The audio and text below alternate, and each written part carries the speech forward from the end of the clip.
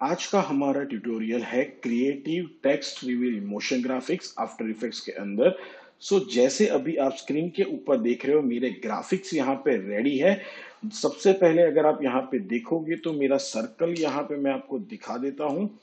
Let's open the okay the value is zero तो यहाँ पे सबसे पहले जैसे मेरा सर्कल वाला स्ट्रोक सर्कल है, उसके बाद मेरे पास यहाँ पे मेरा मेन एक लाइन बना हुआ है, जो मैंने पेन टूल से क्रिएट किया हुआ है। उसके बाद मेरे पास एक स्ट्रोक लाइन है, जो मुझे हेल्प करेगा मेरे मेन लाइन को रिवील करने के लिए। और उसके बाद मेरे पास मेरे दो टैक्स लेयर है यहाँ पे। सो so, सबसे पहले जो मैं स्टार्ट करने वाला हूँ हमारे मोशन ग्राफिक्स को एनिमेट करने के लिए तो वो है हमारा सर्कल तो पहला काम मैं सर्कल लेयर को सिलेक्ट करता हूँ, इसको यहाँ पे ड्रॉप डाउन करते हैं एड में जाता हूँ मैं यहाँ पे, और मैं उसके ऊपर अप्लाई करता हूँ ट्रीम पाथ प्रॉपर्टी अब ट्रीम पाथ में जाएँगे हम लोग और ज़ीरो नंबर की फ्रेम के ऊपर यहाँ पे ट्रीम पाथ का जो एंड प्रॉपर्टी है, उसका वैल्यू हम कर देंगे यहाँ पे ज़ीरो और उसकी स्टॉप वॉच पे की लगा देंगे, ताकि हमारी टाइमलाइन के अंदर एंड की एनिमेटेड की जनरेट होगी। अब यहाँ से हम 20 फ्रेम आगे जाएँगे और एंड की वैल्यू हम अप्लाई कर देंगे हंड्रेड। हम, अब हमारी दोनों लीनियर कीज को हम सिलेक्ट करते हैं F9 प्रेस करके उसको इजी इज़ में कन्वर्ट करते हैं। चलते हैं हम ग्राफ एडिटर के अंदर और यहाँ पे ग्राफ को हमारा ये स्पीड ग्राफ है, इसको हम कुछ इस हिसाब से एडिट कर देते हैं तो ये मैंने यहाँ पे कर दिया है ओके और इस टेंजेंट को थोड़ा हम अप की तरफ़ लेके चलेंगे और इसको थोड़ा पीछे की तरफ़ ड्रैग कर देंगे। मुझे अच्छा खासा एक क्विक स्टार्ट और स्मूथ एंड एनिमेशन देगा ग्राफ एडिटिंग नाउ हम ग्राफ एडिटर से बाहर आ चुके हैं। अब मुझे क्या चाहिए कि जब ये सर्कल ऑलमोस्ट पूरा रिवील होने जा रहा है, उसी टाइम पे मुझे मेरा क्या करना है? मेन लाइन और स्ट्रोक लाइन का एनिमेशन जनरेट करना है तो हम क्या करेंगे? ये दोनों लेयर के अंदर अगेन फिर से हम अप्लाई करने वाले हैं ट्रिम पाथ प्रॉपर्टी तो यहाँ पे मैं जा रहा हूँ एड में जा रहा हूँ, मैं यहाँ पे भी ट्रिम पाथ अप्लाई कर रहा हूँ और यहाँ पे मैं स्टार्ट और एंड के ऊपर की अप्लाई कर देता हूँ। सेम चीज़ इसी को हम कॉपी करते हैं यहाँ से और हमारी स्ट्रोक लाइन लेयर के ऊपर भी इसको कंट्रोल वी करके पेस्ट कर देते हैं। दोनों लेयर को सिलेक्ट करते यू प्रेस करते हैं। अब यहाँ पे मुझे क्या चाहिए? इस फ्रेम के ऊपर मुझे एंड और स्टार्ट का वैल्यू दोनों में सेम देना है तो एंड का वैल्यू मेरा रहेगा 50 और स्टार्ट का भी वैल्यू मेरा 50 रहेगा दोनों लेयर के लिए। ठीक है तो मैंने यहाँ पे अप्लाई कर दिया है वैल्यूज़ अब मुझे क्या करना है यहाँ से? Page down page down 20 frames आगे जाना है। नॉट 20 फ्रेम्स पर हम जाएँगे 25 फ्रेम्स तो one two three four and five frames total 25 frames आगे चलते हैं हम लोग। और यहाँ पे मैं क्या कर रहा हूँ, इसका वैल्यू हम करेंगे जो हमारा स्ट्रोक लाइन का वैल्यू है, यहाँ पे हम कर देंगे इसका वैल्यू ज़ीरो करना है बट हाँ इसको हमें अलग तरीके से यूज़ करना है। ठीक है तो मैंने इसको यहाँ पे ज़ीरो कर देना है, और इसको भी मैं अभी के लिए रेफरेंस के लिए यहाँ पे ज़ीरो कर देता हूँ।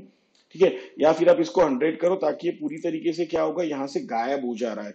बट एट दी एंड यहाँ पे स्टार्टिंग में क्या था? जब ये यहाँ पे रहता है तो कुछ भी रिवील नहीं है। जब ये यहाँ पे आएगा तो दोनों का वैल्यू मतलब मेरा जो स्टार्ट का वैल्यू है वो ज़ीरो और एंड का वैल्यू क्या हो गया? हंड्रेड हो गया। तो वो रिवील होना चाहिए। तो यहाँ पे आप इसको ऑन कर दो ये रिवील हो चुका है आपके सामने। अब सेम चीज़ मुझे इसके लिए भी करनी है। स्टार्ट की वैल्यू मैंने ज़ीरो कर दी है मेन लाइन लेयर की और एंड की वैल्यू मुझे हंड्रेड करना है। तो अब वो क्या हो चुका है? वो भी रिवील हो चुका है। बट यहाँ पे एक हल्का सा ट्विस्ट हमें जनरेट करना है। कि भाई ये जो है ना मेन लाइन वाला लेयर यहाँ से गायब होने वाला है, ठीक है ना? सॉरी स्ट्रोक लाइन वाला लेयर और वो हमें रिवील करके दे रहा है हमारा मेन लाइन वाला लेयर तो उसके लिए ट्विस्ट हमें एक जनरेट करना पड़ेगा तो वो कैसे करेंगे? तो उसके लिए हमें करना क्या है कि ये जो लेयर है तो यहाँ से मैं पेज अप करके जा रहा हूँ और इस लाइन को हम क्या करेंगे? यहाँ पे अप्लाई कर दे शिफ्ट करते हैं हम लोग यहाँ पे. So let's make it shift over here तो हमने यहाँ पे इसको शिफ्ट कर दिया है। वापस इस नंबर की फ्रेम के ऊपर आएँगे। तो भाई ये क्या हो चुका है? अब यहाँ पे दोनों के दोनों रिवील थे। हंड्रेड परसेंट दोनों रिवील थे। बट मुझे वैल्यूज़ चेंज करना है।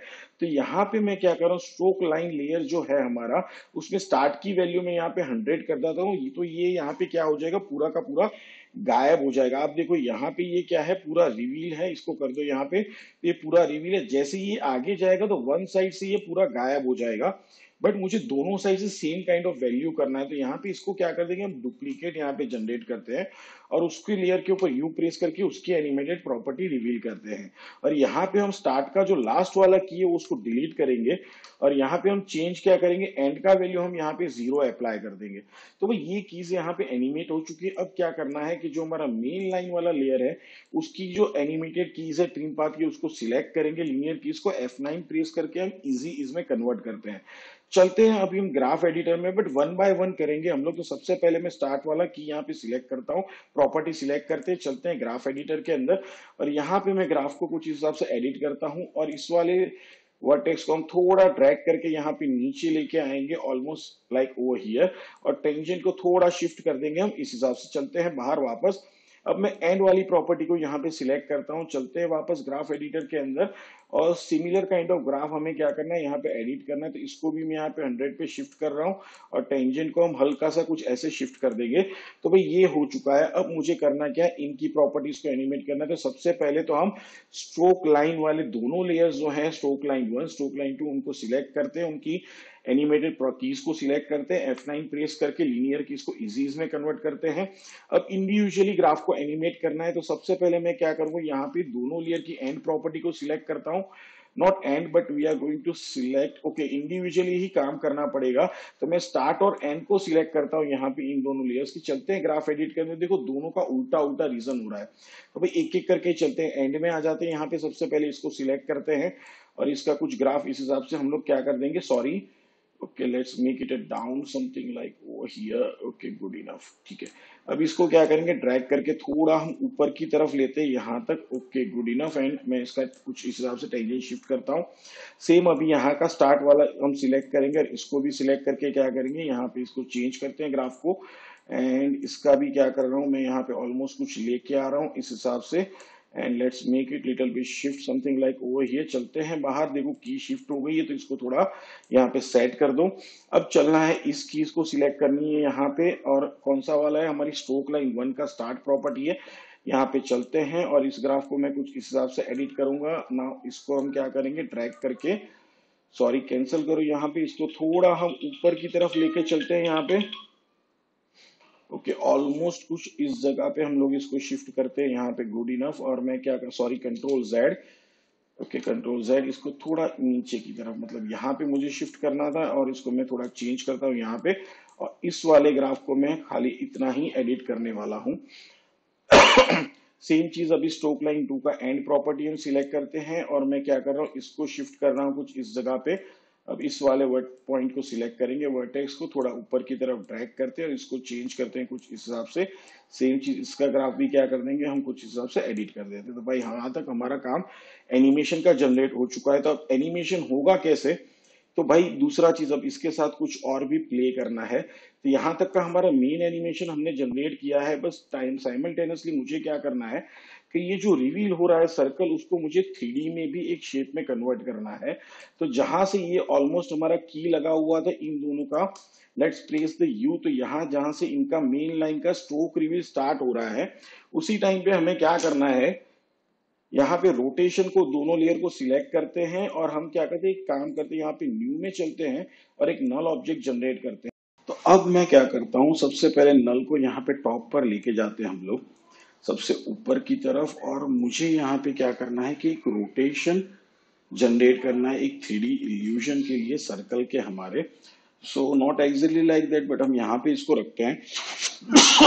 सॉरी अब मैं क्या करने जा रहा हूँ कि मेरा जो यहाँ पे रोटेशन का काम है, उसके लिए मैं सबसे पहले इन सारे लेयर्स को यहाँ पे सिलेक्ट करता हूँ और मैं नल के साथ यहाँ पे इसको पेरेंट कर देता हूँ। तो ये यहाँ पे हो चुका है। अब जब एग्जैक्टली यहाँ पे पहुँचा है और इसका जो मेरे मेन लाइन और स्ट्रोक लाइन का रिवील स्टार्ट होने वाला है, उसी टाइम पे मुझे क्या करना है? इन ऑब्जेक्ट्स को रोटेट करना है। तो यहाँ पे रोटेशन ऑन करते हैं हम लोग और इस स्ट्रोक लाइन को ओपन करते हैं। यहाँ पे यू प्रेस करते हैं कि भाई जहाँ पे इसका एनिमेशन यहाँ तक पहुँच रहा है, उस टाइम पे क्या हो जाना चाहिए? इनका रोटेशन क्रिएट होना चाहिए। तो मैं यहाँ पे वैल्यू अप्लाई करता हूँ थर्टी फाइव का। बट अभी भी कोई इल्यूजन जनरेट नहीं हो रहा है मेरे थ्री डी इलिप्स का थ्री डी शेप का, यहाँ पे कोई भी मोशन ग्राफिक्स हमें समझ में नहीं आ रहा तो उसके लिए मैं यहाँ पे क्या कर रहा हूँ? सर्कल लेयर को ओपन करता हूँ। उसके अंदर इलिप्स पाथ वन के अंदर चलते हैं और यहाँ पे मैं इसकी साइज़ को एनिमेट करने वाला हूँ रोटेशन के साथ साथ तो यहाँ पे साइज़ को की दे देंगे। अब सर्कल लेयर को सिलेक्ट करके यू प्रेस करते हैं और एग्जैक्टली जहाँ पे ये की था रोटेशन खत्म हो रहा है, वहीं पे मुझे क्या करना है? इसका साइज़ भी यहाँ पे चेंज करना है। अब सोच ये है कि मैंने साइज़ को क्यों चूज़ किया यहाँ पे? ठीक है ना? क्योंकि अगर मैं स्केल से इसको छोटा करता ना तो इस, इस सर्कल की जो हमारा इलिप्स है उसकी स्ट्रोक की थिकनेस में फ़र्क आता जो आपका टॉप एंड बॉटम में ज़्यादा थिक हो जाता और जो आपके वाई वाले साइड है सॉरी एक्स वाले साइड है वहाँ स्ट्रोक की विड पतली हो जाती थिनर हो जाती।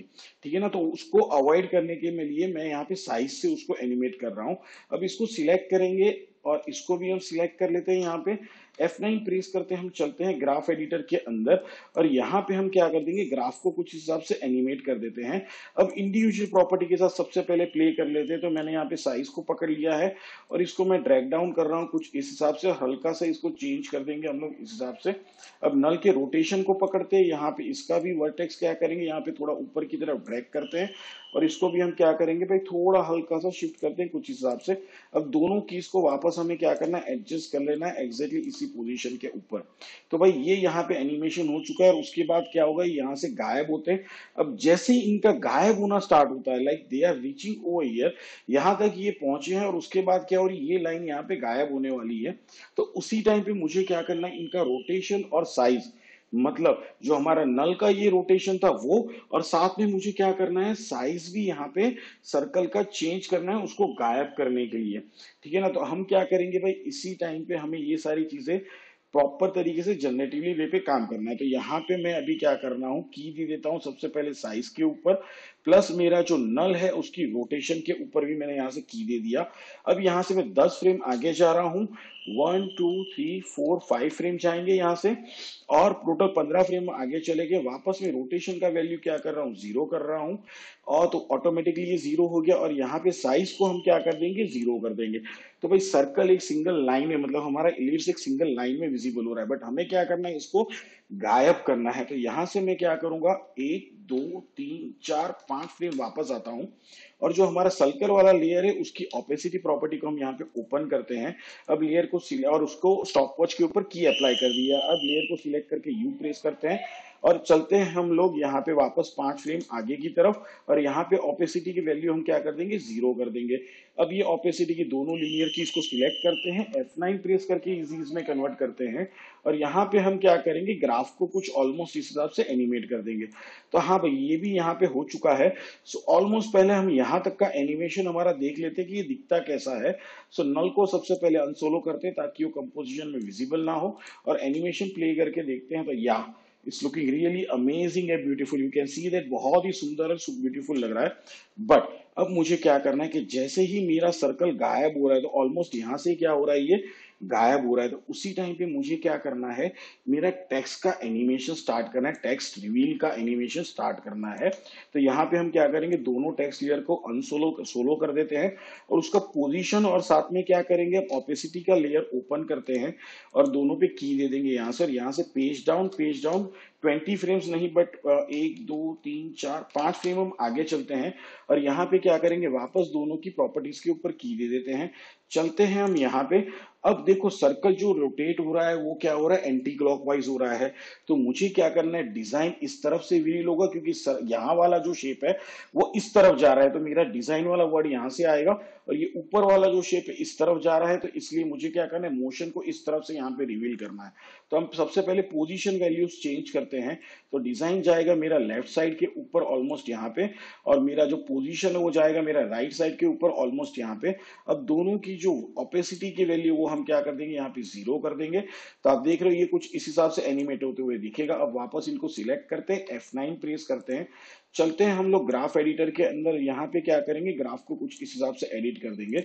सो so, ऑलमोस्ट हमारा text reveal motion graphics animation यहाँ पे जनरेट हो चुका है। फाइनल आउटपुट देखने से पहले गाइज़ मैं हमेशा आपके लिए नए क्रिएटिव आइडियाज़ लेके आता हूँ, जिसके लिए आपको ना ही किसी प्लगइन्स की ज़रूरत पड़ती है, ना ही किसी टेम्पलेट्स की ज़रूरत है, क्योंकि जैसे आप जानते हो एआई की बहुत चिल्लम चिल्ली हो रही है कि आर्टिफिशियल इंटेलिजेंस बहुत सारे लोगों की जॉब खा रहा है। तो वो उनकी ही जॉब खा रहा है, जिनके उन्हें क्रिएटिविटी के लिए डिपेंड किया है टेम्पलेट्स और प्लगइन्स के ऊपर।